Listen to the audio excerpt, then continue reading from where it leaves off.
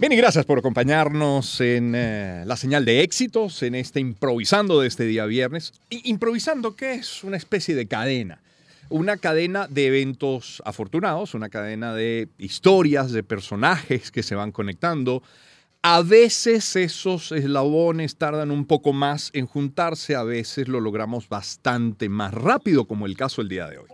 La semana pasada conversamos con el primer actor Eduardo Serrano, lo recordará, muy divertida conversación. Para esa entrevista, eh, la talentosísima actriz Marisa Román grabó un audio muy lindo que compartimos con Eduardo la sorpresa para nosotros fue ver cómo Eduardo se desbordaba en elogios para, para ella. No, porque no los merezca, todo lo contrario, pero, pero no se quedó con un solo adjetivo, lindo adjetivo calificativo para ella. Bello comentario para Marisa Román. Bueno, una mujer formada en Caracas, en Bogotá, en Los Ángeles, en Nueva York. Hoy está maravillosa, querida actriz de teatro, de cine y de televisión. Ha tenido la gentileza de querernos acompañar y Marisa Román está Hoy con nosotros desde Argentina. Marisa, bienvenida, ¿cómo estás? Ay, gracias, Román. Qué belleza de introducción. No tengo nada que decir, sino gracias de corazón. Gracias por acompañarnos en la señal de éxitos. Hasta aquí nuestro improvisando. Será hasta la próxima. Pásenla bien.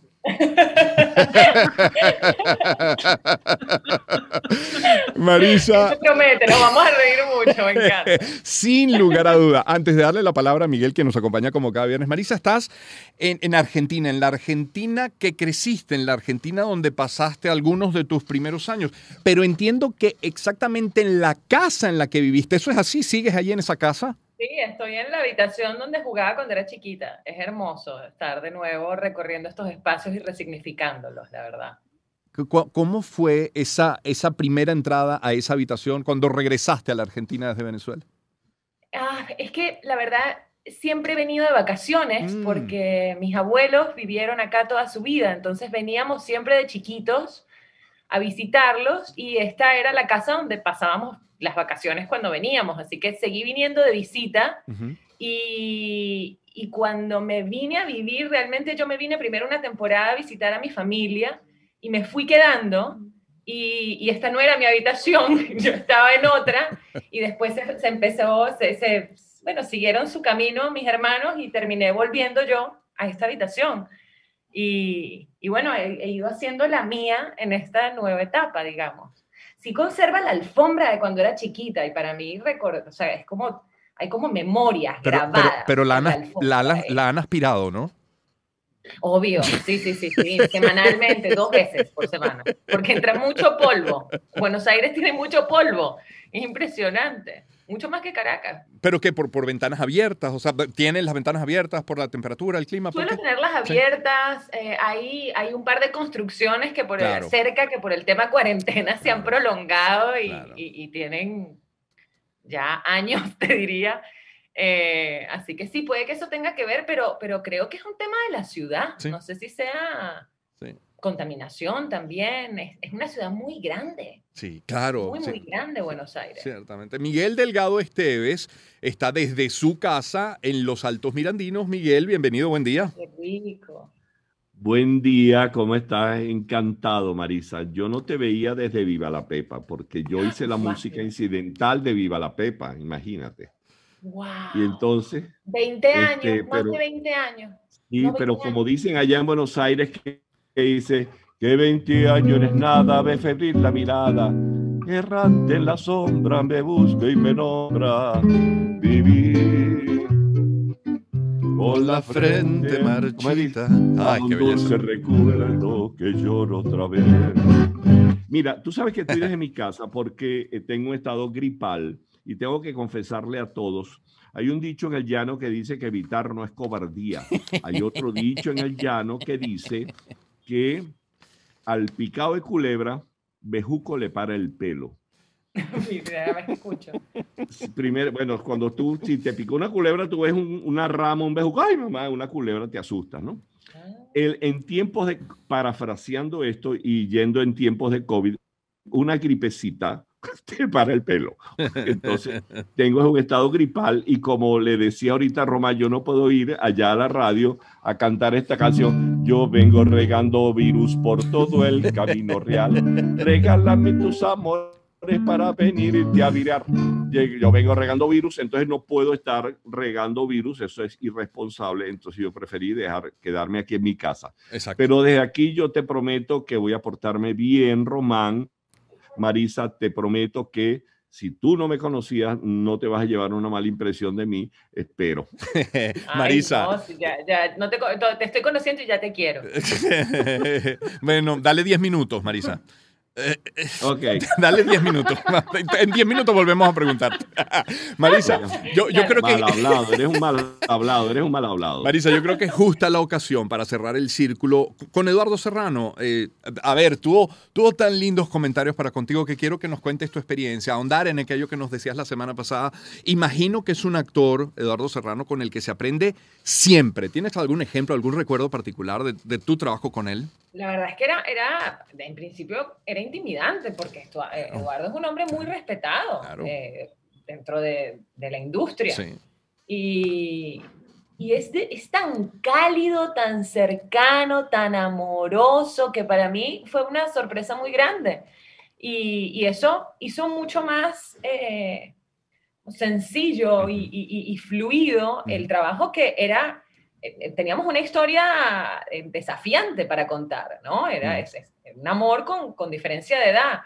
Y Eduardo siempre tan amoroso, él me decía como que, imagínate, él decía, es que tú eres demasiado buena actriz porque es que te creo que estás enamorada de mí, me decía, pero como, como tirándose para abajo y él es un hombre tan buen mozo, tan atractivo y tan adorable que la verdad es que, bueno, tú sabes cómo somos, ¿no? Que tendemos a no, a, no poder ver, eh, es, es, más sencillo muchas veces ver lo que no nos gusta tanto de nosotros que, que nuestros dones. Aparece ahí el síndrome del impostor y cuánto daño hace, ¿no? Ay, bueno, pero de eso, de eso todos sabemos, sí, siempre. Miguel. Siempre, siempre. Sabes creo que... Eh, si algo he aprendido es a ser amoroso, más amorosa conmigo. Ay, qué importante, quererse uno, ¿no? Sí, sí, pero eso creo que te lo enseña la vida y la experiencia, ¿no? Mm. Igual todavía de vez en cuando ataca el síndrome del impostor. Ay, te salió ahí un acento muy argentino. Ah, no, no, viste nada. Te puedo hablar re, re, pero obvio. Si me criaron todo, boludo, ¿qué, ¿qué, te crees? Miguel. Mira, una cosa, Marisa, tú sabes que me puse a hurgar sobre tu vida y veo que has estudiado mucho sobre el tema de la actuación, y hiciste los, has hecho talleres teatrales, has hecho talleres de voz, inclusive para canto. Este, eso eso me, me, llama mucho la atención porque mi esposa es egresada también, ella no ejerce hoy día, pero ella, está, ella se formó pues en el teatro este, y trabajó mucho con, con Santana, con Rodolfo y con toda esa gente. Pero bueno, esa es otra historia, esa es otra historia. Pero el cuento es que veo toda la formación teatral que tú tienes, los talleres que hiciste con Susan Batson, este, que me llamó mucho la atención ese, ese apellido, porque es como hija de, de murciélago. Uy, qué mal chiste, Miguel. Gracias, Miguel. Chiste para bilingües. Claro, claro, exacto, sí, exacto. Pero el cuento es murciélagos son hijo, hijo de murciélago. Exacto. Gracias por explicar. El, el, tema de mi pregunta, porque este, has hecho eh, todos esos talleres y eso habla de tu preocupación como actriz, de qué hacer. Bueno, de que me pegue menos el síndrome del impostor que decía Román. Con Grotowski o con Stanislavski o con, o con Breck o con cualquiera de los grandes este, maestros pues, de, de, la, de las técnicas teatrales. Y aquí va la doble pregunta, porque hay una película que tú hiciste donde tú haces de la, una matriarca vampira. Pero mi amor, tú estás dateadísimo, estoy impresionada, Miguel. lo, que, este, lo que hace el confinamiento, ¿ah? Lo que hace el confinamiento. Y la, la, gripe que tengo ahorita que no me deja salir de mi casa. Pero verdad, mi amor, entonces tú hiciste esa, ese personaje que se llama Callback. Este, que era una matriarca. No, callback, callback es, la, es, es, cuando tienes el, novela. el, segundo llamado. El segundo llamado, luego de un casting, exacto. Ah, ok. Oh, ah, Ella se llamaba Santa Yara. Santa Yara. ¿Y qué tiene que ver eso? Porque tú haces de una vampira líder donde los hombres no tenían voz ni voto. estás hablando de liderazgo, de voto. No, no nos metamos en el 21 de noviembre, ¿ah? Aunque más de uno votaría por Marisa, hay que decirlo. Bueno, la verdad es que es un clan de vampiras y ella es la matriarca del clan de vampiras y, los vampiros son, son violentos, muy violentos y, los castigos para los hombres en el, en el clan de Santa Yara son... Sí, sí, ya los, sí, ya los murciélagos nos han hecho lo que nos han hecho más que nada un vampiro. Imagínate un vampiro. ¿Qué clase de pandemia? sí, esto lo filmé en Nueva York en finales del 2015 y la película se estrenó hace un par de años en un festival de terror en Estados Unidos, de, cine de horror, y ahora eh, está en, en, Amazon. A través de Amazon se puede ver. Imagínate. La película. Sí, en Amazon, Amazon Prime, creo que, que, es el, el, el, servicio que tiene como Netflix, como de, de, claro. de, producción audiovisual on demand. La voy a buscar hoy. De, Amazon. Eh, y fue divina la experiencia, me hicieron hasta mis colmillitos. Sí, y como fue maravilloso. Y, lo que creo que debes haber visto, no sé qué vi, no sé qué viste, ¿dónde viste eso de Colba? Exacto. no, mi amor, es ¿Qué estabas leyendo tú, Miguel? En tu, en, tu, en tu libro de vida lo busqué. Ok. Ah, ok. Porque acuérdate que dicen dicen que Dios nos, hijos, nos hizo a su imagen y semejanza, lo que quiere decir que somos como Dios que sabemos todo. me encanta esto, me encanta una frase esto, mira, no hay nada oculto entre el cielo y Google. Al tío Google, ciertamente. Nada oculto. Mamá lo llama Doctor Google y me, encanta. Ya llegué y dice, Doctor Google. claro, claro. Marisa, Marisa Román, nuestra invitada el día de hoy. A ver, yo, yo, yo nunca he sido fan, la verdad, de las novelas. Claro que hay novelas que nos han enganchado a todos los venezolanos, independientemente de la edad, del género, del, nivel socioeconómico. Pero sobre tus actuaciones yo sí debo hacer un comentario. Y es que siempre en cualquiera de tus personajes lo que, lo que brotaba, lo que recibíamos a través de la pantalla era una enorme naturalidad. No parecía actuado aquello que uno veía en ti. Eso es eh, a ver, producto de, tu forma de ser, eh, sale espontáneamente, te has esmerado en, perfeccionarlo. ¿Por qué eres tan natural en la actuación? Ay, gracias, Román. Eh, yo te digo algo con honestidad, yo veo mis primeros trabajos cuando tenía 16, 17 años y yo no creo que yo tuviese esa, esa naturalidad que después fui desarrollando. Mm. yo creo, yo, hay un libro que me encanta que se llama eh, Talent is Overrated, como el talento está sobreestimado. Y yo creo que talento sin formación eh, no, no, no te lleva muy lejos. Eh, y como bien decía Miguel, yo no me canso de estudiar y de formarme. Creo que hay, es, es, es inagotable la fuente de conocimiento que hay. Y, y, como, y, bueno, para todas las disciplinas, ¿no? Pero en el, en el, caso del trabajo del actor, yo creo que es fundamental eh, poner en el cuerpo todas las herramientas que vayas adquiriendo, porque es tu instrumento. Eh, y para mí, en ese sentido, todo el tiempo que, que viví en Venezuela, sé, que fui, sé que fui muy afortunada, pues no paré nunca de trabajar. Estuve 20 años trabajando incansablemente en cine, en teatro, en televisión, alternando los tres. Y para mí esa fue mi, mi gran escuela. Mi gran escuela fue el trabajo. Y, y, ahora que estoy en mi Instagram haciendo este, este bello ejercicio de reflexión actoral, que, que, son mis videitos de detrás de escena, se llama, es una sección que tengo en IGTV todos los jueves, eh, estoy haciendo, revisitando mis trabajos actorales y puedo ir viendo mi evolución como actriz de proyecto a proyecto, mi, mi propia libertad en escena creciendo y, y, ejercitándose. Y de hecho yo considero que hoy soy mejor actriz de la que era cuando estaba viviendo allá y haciendo novelas. Eh, me gustaría trabajar más, así que bueno, estamos trabajando en eso. Eh, quiero, quiero estar más en el set porque es mi lugar favorito en el mundo, te digo. Y mira que me encanta la playa. Pero le gana. ¿Recuerdas la primera vez que pusiste un pie en un set ya para participar en alguna novela? ¿Cómo fue aquel momento? ¿Lo recuerdas? ¿Lo tienes presente? Sí, sí, en, el, en el fue en, el, estudio de Laura Visconti, una productora independiente chiquitita que le vendía eh, proyectos a Benevisión, series juveniles sobre todo.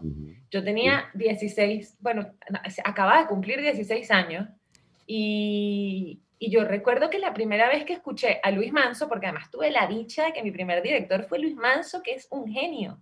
Hoy en día está en México dirigiendo. Y yo, la, a un hombre apasionadísimo, un líder eh, amorosísimo. Y yo la primera vez que escuché a Luis decir cinco y acción, yo tuve la certeza en mí que esto era lo que yo me quería dedicar toda mi vida. Qué bello. Así. Qué belleza. Mira, una cosa que te iba a preguntar, porque tú has hecho más de 12 películas. Eh, eh, una importante es callback. Eh, todas con callback. Bueno, sí, todas, con, callback. porque no es que te eligen de una sola audición y ya. Ajá, pero el asunto es que y has hecho teatro, y has hecho cine, y has hecho televisión. Yo siempre le pregunto a las actrices o actores que hemos tenido, este, ¿cuál de las tres, eh, eh, cuál de los tres escenarios tú te sientes más sabroso, más identificada? A ver, obvio, seguramente todos te contestan los mismos. A mí me encanta actuar, me encanta actuar en el formato que sea, pero la verdad es que si tengo que elegir mi favorito, y aquí sí, esto ya es muy personal de cada quien, mm. en mi caso es el cine. ¿Por qué? El cine es lo que más me gusta hacer. ¿Por qué? ¿Qué tiene? El cine. Eh, hay, hay algo en el tiempo del cine que es distinto a la mm. hora de actuar. Mm. Eh, y la cámara, primero esto, tienes como mucho más tiempo para, todo se da su tiempo, no hay la corredera de pronto que tiene la televisión que también es sabrosa y que te entrena un montón y te obliga a, estar muy afilado y resolver todo el tiempo.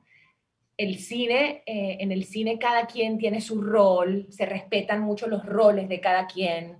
Eh, pero cuando están todos en el set, se, ve como ese, ese amalgamar de todos para que el proyecto salga, hay un respeto por el director, tiene una cosa mística el set de cine que es muy especial.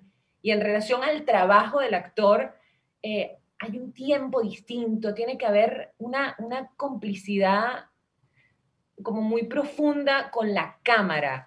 Y la cámara lee los pensamientos. Entonces, la verdad es que, exige, es muy exigente el trabajo con cámara en cine y, a mí me encantan los desafíos. Eh, entonces, eso es, e, es un espacio en el que siento que tienes que estar muy afinado, tienes que tener muy afinado el instrumento para estar abierto y disponible y dejarte ver, que es algo que tienes que hacer siempre pero en el cine, de pronto, ahora que me pongo a reflexionar sobre el tema, yo soy muy activa y tengo como mucha energía. Y el cine te demanda estar como muy presente y, muy conectado y relajado. Entonces exige, en mi caso, me, exige, me ha exigido como madurez mm. actoral. Es, es, el mindfulness de los tres escenarios, ¿no? El aquí y ahora. Es el mindfulness de los tres escenarios. Estar aquí y ahora. Cual, que sí. por ahí va. Marisa, creciste muy probablemente viendo a muchos artistas, a muchos actores, a quienes seguramente seguías eh, y, terminas trabajando con ellos. Obviamente habrá algo de suerte, sí, porque no considerar la suerte, pero, pero sin duda hay, talento, hay, trabajo también y mucho, pero será una bendición. Sí, sin duda, es una gran bendición, una gran bendición. Soy muy consciente de eso y creo que siempre, siempre lo fui en cada encuentro, en, cada oportunidad de aprender de mis compañeros, porque lo que te decía, lo que, lo que, te decía, para mí la, mi gran escuela fue mi trabajo, eh, todas mis experiencias de trabajo y, y, los compañeros que me tocaron, o sea, eh, tanto los textos como los directores, mis compañeros actores, entonces era como un, yo de verdad me sentía así, era un constante de conservatorio actoral y además me pagaban, era como, wow, una maravilla. Es que fíjate. yo recuerdo la primera vez que estuve en un set con Elba Escobar, por ejemplo. Y además eran mis compañeros de trabajo. Elba, me, me, estábamos grabando, imagínate, eh, uno de los primeros capítulos de Cosita Rica y, y era una gran fiesta y Elba terminó levantándome el cierre del vestido, ayudándome a vestir y para mí, y yo se lo decía además, es como, ¿sabes? Esto de que si no puedes esconderlo, muéstralo. Y yo, yo le decía, Elba Escobar me está levantando el cierre, no lo puedo creer. Ya, ya, rompes el hielo de una vez y después, bueno, ya está. Ya nos hicimos ah. amigas y conversamos y todo buenísimo. Pero de entrada es como... Claro sí, siempre, siempre fue impactante. Marisa, yo, ya te doy la palabra, Miguel, pero aprovechando este último comentario de Marisa, yo ayer, cuando preparaba esta conversación, me paseaba por el reparto de algunas de las telenovelas de, de, Marisa. Y, por ejemplo, voy a compartir nada más algunos nombres que acompañaron a Marisa Román Cosita Rica, ya que lo menciona. Fabiola Colmenares, Rafael Novoa, Gledis Ibarra, que ya estuvo en este espacio, Carlos Cruz, Chiquinquira Delgado, Elba Escobar, Noelía Arteaga, María Alejandra Martín, el muy recordado Carlos Villamizar, Daniel Alvarado, igualmente, Edgar Ramírez, Lourdes Valera, Roberto Lamarca, Beatriz Valdés, Tania Sarabia, Haroldo Betancur, Ricardo Bianchi, Franklin Virgües, Guillermo Dávila, Marina Baura, Ana Karina Manco, que la tuve esta semana en la radio, la semana pasada, La Beba Rojas, Yanis Chimaras, Juan Carlos Eh, Roque Valero, Andreina Yepes, una larga lista de Adolfo Cubas, por ejemplo, Henry Soto, la lista es larga. Ahí participó, bueno, también Osmel Sousa. Qué privilegio ese, Miguel, ¿ah? Maite Delgado, deja Maite, que también estuvo. Por favor. Conocí a Rosario Flores haciendo esa novela, hicimos un par de escenas juntas. Pero además, si te vas más atrás, en Radio Caracas, Carlos Olivier, Olivier Julie, que en descanse, Julie Restifo. Eh, recuerdo eso de la primera, Luis Fernández. Eh, no quiero que me quede nadie por fuera. Carlos Cruz, Alba Roversi. Eh, además, eres una de las consentidas de Leonardo Padrón, que hay que recordarlo. Sí, Cierto. Consentida, bueno, ya estoy grande para ser, pero bueno, sí. Sí, estar dentro de los elencos de, como, como fija dentro de los elencos de Leonardo, uy, es un privilegio grande. Él armaba sus Dream Teams y, y, esto, de alguna forma tener esta familia, que nos íbamos encontrando proyecto tras proyecto. Eh, Ahora, en, muy especial. En porque además toda la gente que nombras, obviamente yo no coincidía con todos, coincidía con los que mi historia me permitía. Claro. Pero si no coincidía con ellos en una novela, en la siguiente coincidí. Con claro. Ibarra, por ejemplo, no trabajamos mucho en Cosita Rica, pero en Ciudad Bendita fue mi madrina. Y conocí a Carlota Sosa también. Y fue como, wow, trabajar con ellas dos fue, muy especial. En el caso de Cosita Rica, tenías dos personajes, era María Suspiro y Verónica Luján. Y entiendo, leí... Sí, Ramírez siempre dice que eran cuatro, porque era María Suspiro, Verónica y María Suspiro haciendo de cuenta que era Verónica, y Verónica haciendo de cuenta que era María Suspiro. Es verdad, qué bueno. Ah, eh, fíjate, pero entiendo, leí en alguna entrevista que, que, tuviste la asesoría de un psicólogo como para tratar de encasillar, de, de, identificar bien a cada un personaje, que no se confundiera. ¿Eso fue así? Un psiquiatra, un psiquiatra. Un psiquiatra. El gran Roberto de Bris, que en Ah, claro, ah, claro, tan querido, sí. sí claro, muy querido. Nos conocimos y para, de verdad lo busqué para eso fue, tenía muy poco tiempo para prepararlas y sentía que necesitaba como ordenarlas a nivel teórico, como tenerlas separadas y al principio hacerlo muy mecánico hasta que después se fue integrando el trabajo. Pero sí, me ayudó un montón en esa, primera, mm. en esa primera etapa de construcción de personaje. Y la siguiente novela que hice, que se, se, llamó El amor las vuelve locas, de Alberto Barrera, la única que hice de Alberto, eh, y, te diría hasta ahora la única telenovela tradicional que he hecho, como de corte tradicional.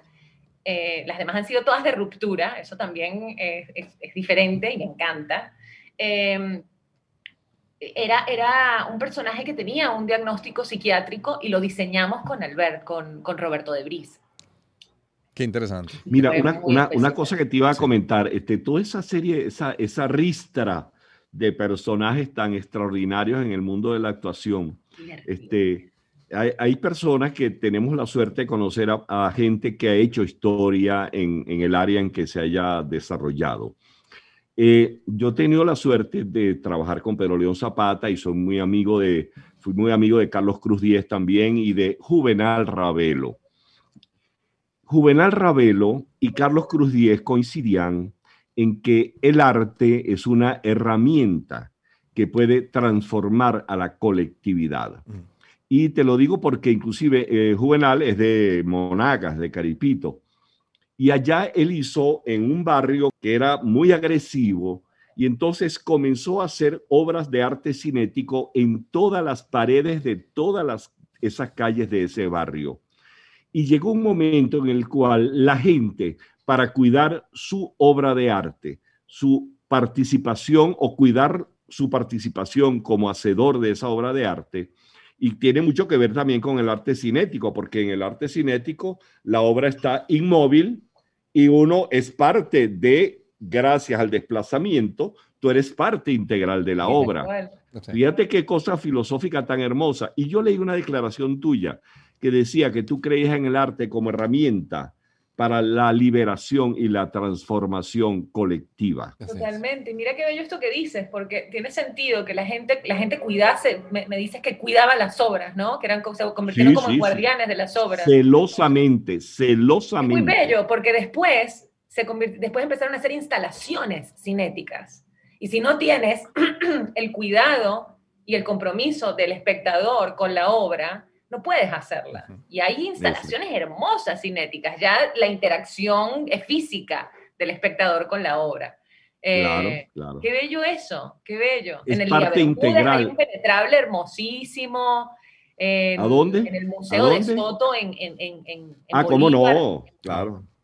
Hay dos penetrables, uno que es el sonoro y el penetrable que es de las de las de las, las tiras estas de nylon, ¿no?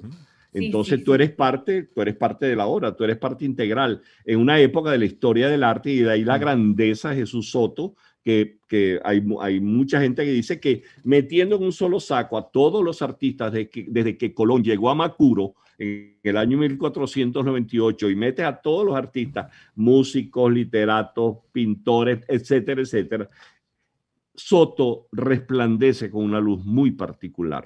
Sí, el que tenga la posibilidad de ir a su museo en Puerto Ordaz, no, no deje de hacerlo. el hombre es parte de la obra.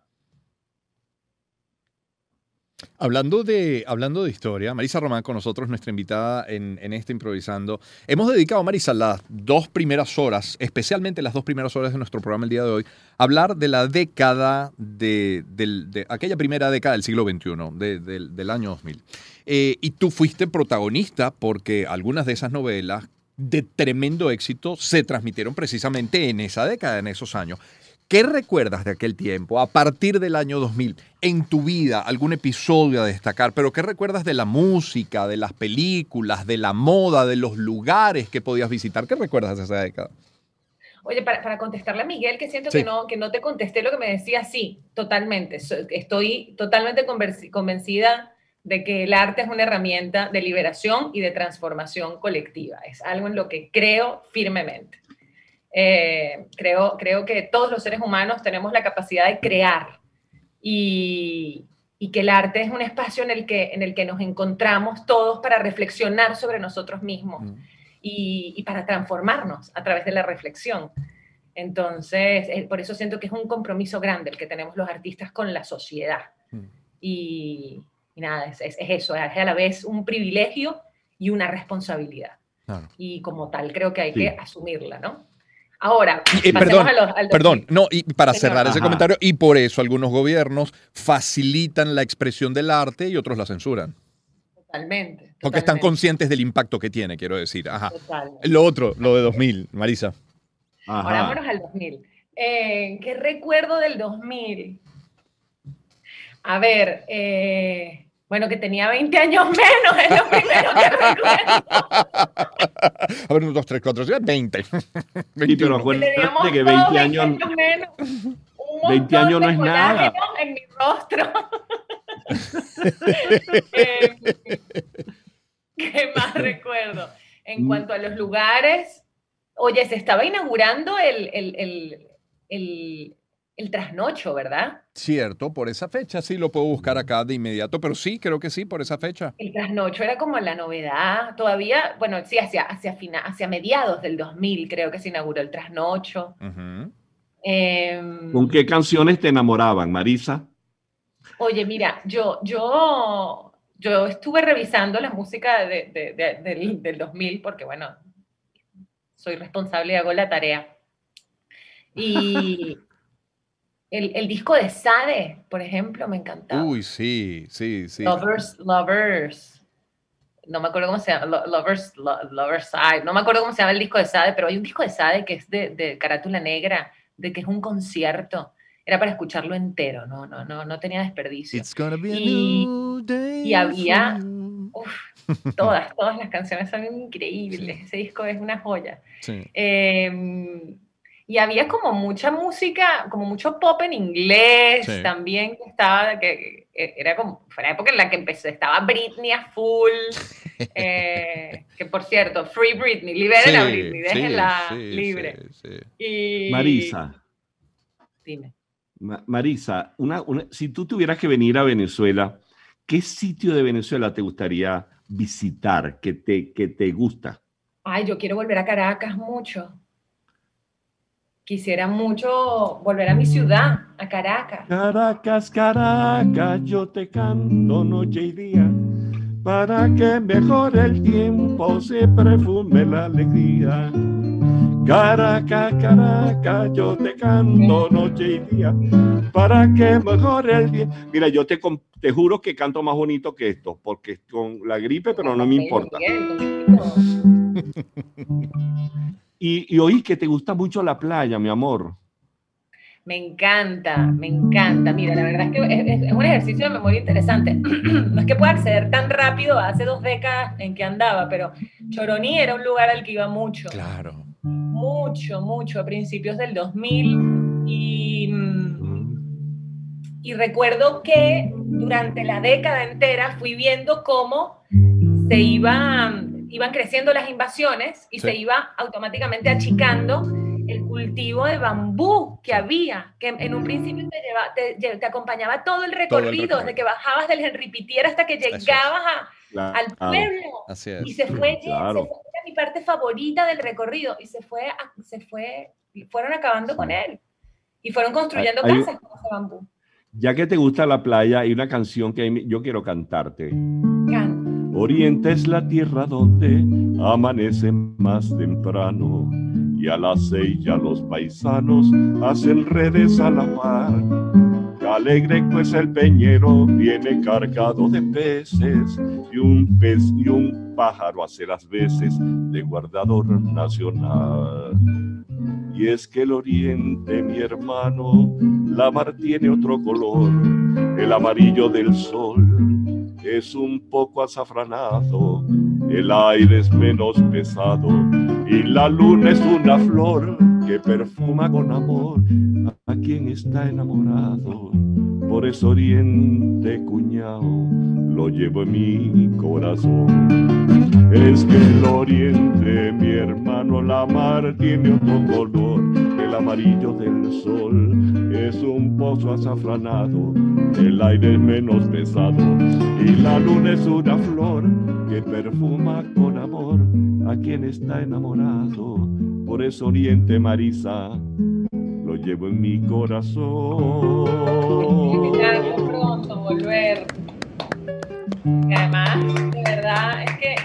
Pones a pensar y en todos los rincones de nuestro país es como, de verdad, la cercanía y la calidez de la gente. Yo lo voy encontrando por, en pedacitos, ¿no? Como pedacitos de eso, donde sea que vaya, que me consigo con algún compatriota. Sí pero extraño eso, que, quisiera volver y eso, reencontrarme con la gente en todos los rincones del país. Es como esa calidez de nuestra gente. Definitivamente. Así es. María. Y como quiere volver a Caracas, yo estoy casi despidiéndome. Los amores de Cabré con la montaña vileña. Los amores de Cabré con la montaña vileña es la canción que hace Enrique Hidalgo para esta ciudad avileña. Y Manuel Cabré decía, cuando le preguntaron, ¿qué siente usted cuando le dicen el pintor del Ávila? Y él decía, no, yo lo que hago es pintar a Caracas, lo que pasa es que la vida siempre está ahí. Caracas, imagínate, la ciudad en la que nací, en la que crecí, en la que viví pero la, mayor parte de mi vida. Me parece mentira tener casi 10 años de haber emigrado, me parece mentira, no puedo creer cómo pasa el tiempo. Hay, algo de Buenos Aires que te conecte con Caracas, Marisa, que te haga sentir en casa, que, que, que, por un momento digas, ay, sí, se parece Comerme un mango. Recién caído de la mata, que no es cualquier mango. Estos, no, esa, esa posibilidad no la tengo. Es por eso, no digo acá. Desde que migré, en todas las ciudades en las que he vivido, comerme un mango es algo que me conecta automáticamente con, con estar en Venezuela. Qué belleza. Hay un compositor. ¿Por Caracas específicamente o Venezuela en general? Sí. ¿Cómo? ¿Con Caracas o Venezuela? No, da igual, con Caracas, con Venezuela. Caracas porque viste tanto acá, pero sí, con el país, claro está, Miguel. Con Caracas, uy, no, aquí al revés, no hay montaña, esto es así plano. Sí. Entonces visualmente es muy distinta Buenos Aires. Claro. Hace poco cumplió. cuando, cuando he estado allá y he visto la montaña, hay, como una, hay más sensación de Caracas. Es como, ay, ah. esa montaña dibujada atrás de, de la ciudad. Sí. A veces parece un backing en una obra de teatro, ¿ah? parece de utilería, de lo hermoso de nuestro Ávila, sobre todo en esos, en esos generos hermosos, con cielo despejado, parece puesto allí, uno dice, qué bendición. ¿ah? Lo veas de cerca, lo veas de lejos, lo agradeces, Miguel. Y, y esta, este privilegio, además, yo, yo, yo, viví en el, municipio de Chacao eh, casi toda mi vida y casi que podía ir caminando a, a, subir a la montaña, poder ir a la, a la tarde, eso, al Ávila, a caminar, y estar en el medio de de esa selva tropical que la tienes ahí a 30 cuadras. Es como... Sí, así es, efectivamente. Miguel, vamos, vamos llegando al final, Miguel. Tú hablabas del mango, tú hablabas del mango, que hace poco cumplió creo que 115 años de su nacimiento, un personaje que se llamaba, se llama Luis Mariano Rivera y él compuso una canción que se llama El Mango, que, que, le gustaría comer entre el mango y la manzana. Contestaré, amigo mío, que el mango me da más gana. Contestaré, amigo mío, que el mango me da más gana. el mango lo... También lo comió mi abuelo y además tiene el sabor que saca de nuestro suelo. Qué bonito. Miguel, para la despedida ya. Nada como un jugo Bueno, Marisa, tengo un proyecto dentro de poco, a principio del año que viene, de ir a Buenos Aires para hacer unos conciertos con una gente y el mundo de la guitarra. Así que yo te voy a buscar porque me quedé con las ganas de oírte cantar. ¡Ay! Si, me si tú me convences con la actuación como me has convencido, también creo que me puedes convencer con el canto porque bueno, sé como que bien, está bien, está bien. Lo, lo, lo, programaremos. Marisa, eh, te quiero agradecer. Y un honor.